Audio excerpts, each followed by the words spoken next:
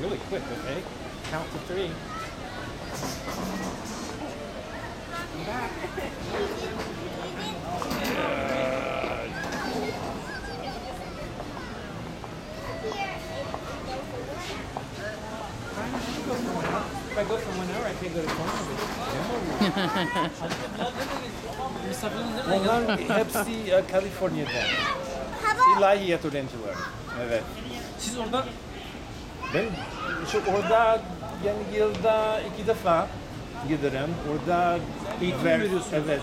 Orada şey ders veriyorum, konferans yapıyorum. Peki asıl kaldığın yer Hindistan mı? Evet. evet.